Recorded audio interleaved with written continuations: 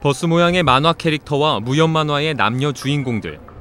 TV로만 보던 캐릭터들이 연신 줄을 지어 오는 이곳은 중구에 위치한 서울 애니메이션 센터입니다. 이곳에서 서울 국제 만화 애니메이션 페스티벌 시카프 2014의 개막식이 열렸습니다. 저희들이 지속적으로 다듬어가고 확장해가고 심화시켜가면 저는 이 지역이 에, 앞으로 대한민국뿐만 아니라 세계적으로도 유명한 어, 이름난 그런 어, 만화와 애니메이션의 그런 거리 타운이 될 거라고 믿습니다.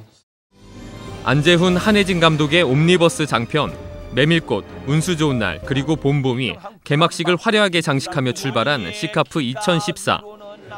축제 기간 중 서울 애니메이션 센터에서는 시카프 2013 코믹 award 수상자인 김동화 화백의 특별전 김동화의 길과 올해로 20주년을 맞은 열혈강호 특별전 한비광이 열리고 시카프 국제 애니메이션 영화제 본선에 오른 180편의 작품이 경쟁을 벌입니다. 또 만화 주인공을 손바닥만하게 만든 깜놀 피규어전과 만화 영상을 사진처럼 보이게 표현하는 스톱모션 체험관이 운영됩니다.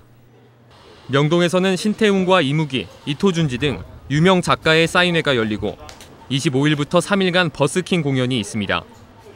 또 이번 시카프는 도전, 용기, 그리고 영웅을 주제로 잡고 소방관과 산악구조대, 경찰을 주인공으로 한 기획전 우리는 영웅을 운영합니다. 도전, 용기, 그리고 히어로.